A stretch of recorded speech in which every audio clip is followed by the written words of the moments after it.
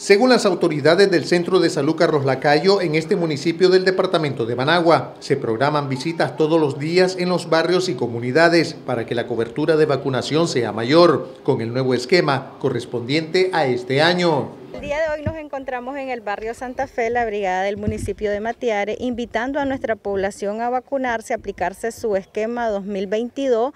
Andamos poniendo AstraZeneca para los adultos, eh, para las embarazadas y puérperas la Pfizer, para los niños de 2 a 11 años la Soberana, de 12 a 17 Agdala. Ahorita con esta pandemia, ¿verdad? Que se ha propagado bastante, pues tenemos que seguir la secuencia de seguirnos vacunando porque es importante para nuestra salud.